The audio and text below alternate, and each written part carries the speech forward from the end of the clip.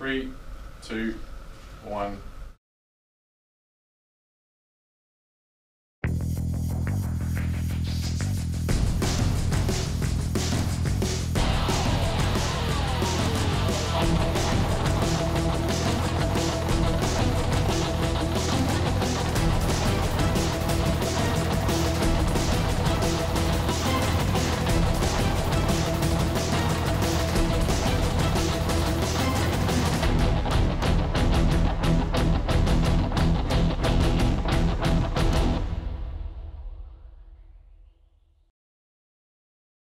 Ecstatic and relieved would be the, the combination of feelings right now. Happy it's finally done, and relieved we made it through, but also excited for the challenge ahead um, of flying an actual frontline squadron. So it's extremely intensive. They've basically now graduated from almost five years of training non-stop, having gone through officer training into BFTS, 2FTS, 79 Squadron, 76 Squadron, and then finally OCU, and now they've finally achieved um, the dream of becoming a DCAP Hornet pilot and graduate to the front line. So for them, it's a massive achievement. It's a sense of relief because they don't have to study six days a week.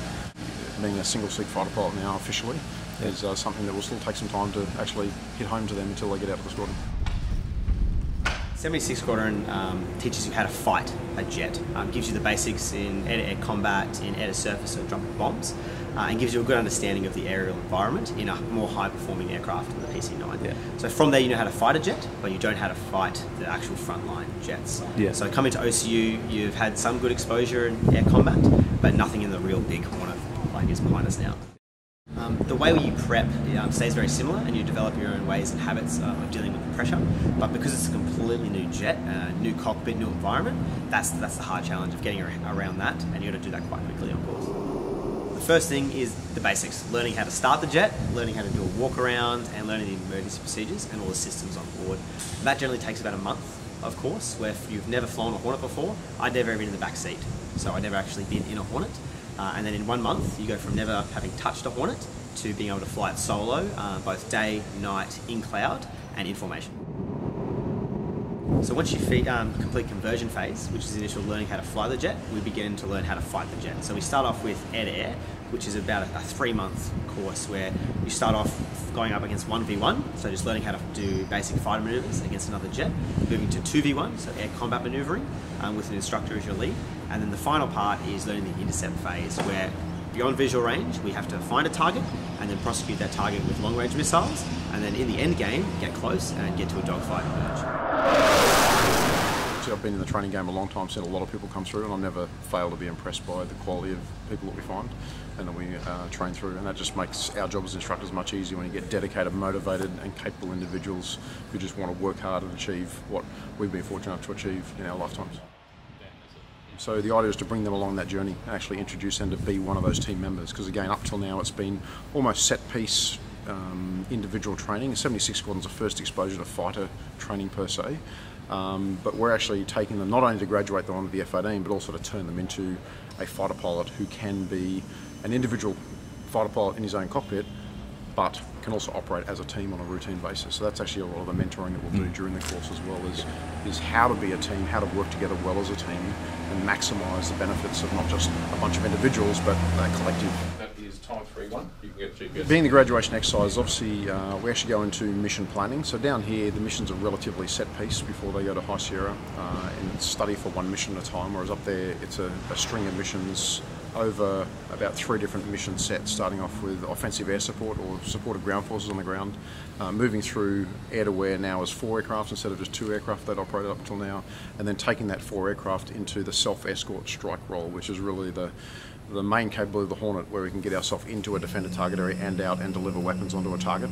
Uh, so, from the instructor community, we're obviously teaching them those skills, so guiding them through planning processes, guiding them through their expectation and requirements as a, as a wingman, not just of two aircraft now, but as four aircraft integrated, where sometimes we're operating as four, sometimes we'll be coordinating two ships or elements within that four ship, uh, and then being able to deliver weapons onto targets as four aircraft simultaneously as well. So Um, there is a lot more effort in High Sierra, both for instructors and, and the students, as we increase that mission complexity, because we're starting to introduce them to red air, um, so hostile air tactics, and how they're going to deal with that as a wingman, and what our requirements of them are to demonstrate that they can safely and effectively do that before they leave OCU, where obviously they have that intense supervision and oversight from instructors. Where they go out to a squadron, yes, they have experienced pilots there, but not all are instructors. So mm. it relies on them meeting that, that minimum standard of safe and effective wingman then go and integrate the squadron and progress from there. It was exciting. Um, the flying itself was insane. It was the best flying I've ever done in my life. You really start to merge everything you've done before, so air to air, air to air refueling for the first time, and then dropping live weapons for the first time uh, in a Hornet. The whole aim of it, uh, aim of High Sierra, is to expose us to what life would be like in a frontline squadron, and the final tick for the instructors that we are safe to fly this Hornet solo in combat, um, and in the future those instructors will be our leads, and we'll be having to protect them while they protect us it's yeah, it's indescribable. I mean, I can even remember back to my graduation, the, the sense of relief in terms of that training is over and you've actually graduated as as a fighter pilot uh, is just a massive achievement because that's where all of them have aimed since they've joined the Air Force, and for many, long before they joined the Air Force, and to actually achieve that is uh, is amazing. Mm. Um, so sense of relief, ab absolutely, and uh, sense of you know, gratification uh, in achieving that, and certainly for you know, all the people around, they get to share in that with their course mates as well. Uh, and we as instructors get to share in that as well. It's, it's, so gratifying as instructors to see. And in particular, you obviously have a, a range of um, capabilities in any group of students, so there'll be some who do better than others naturally, um, but to see all of them get through as a course, because it does rely on them working together as a team as well, yeah. um, but with, with us as well, to see them all get yeah. through uh, is fantastic. Initially, I always dreamt of being, you know, a fireman or a, um, a monster truck driver was my initial one from my parents. They told me when I was young. Um, but growing up on the Gold Coast, there's like you know the beaches, doing beach cricket, all the standard Australian things. Um, all the jets used to fly past um, from Amberley. And I remember asking my dad, like, "What is that? What's going on there?" And he said, "Oh, they're Air Force pilots." And from then I did a bit of googling and a bit of research and saw them more and more. And then from then I decided I, I want to do that. That's that's the best job in the world to be able to jump in the front seat of a fighter jet and fly around and get paid to do it. I always say, do not live life regretting anything or not knowing whether you might have been able to do something. I recently was an Air Force, invited back as a guest speaker an Air Force Cadet uh, Squadron I was a member of many years ago. Uh, and the advice I left them was, well, don't doubt yourself. So the key is, if you see jobs out there, if you think, oh, I'm not sure I can do it, is you need to find out. Like you need to find all the information possible, make sure you are informed about it, and then if you're still in doubt, go for it anyway. Right? The, you know, the worst can happen is maybe you can't do that and you have to you choose to go and do something else, or you decide that it's not for you.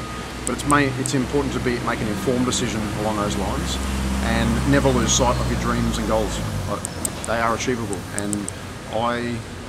You know, by my own admission, I was no one special when I joined Air Force. I just wanted to be a pilot, and then I wanted to be a fighter pilot, uh, and I was you know, fortunate enough to be able to achieve all that. And that was through determination, hard work, uh, and just keeping focused on that goal the whole time. Have a go um, what's the worst that can happen? Um, go somewhere else or you end up in the cockpit of a fighter jet. I think the big things are just attitude and hard work. Um, most of these guys on course, not, not all of them have uni degrees. Um, most of them, not everyone does well in high school. Um, so there's other avenues you can take. Um, but if you just keep working hard and have a good attitude and just wanting to get it done, that'll put you in really good stead uh, for the recruitment process and in the training.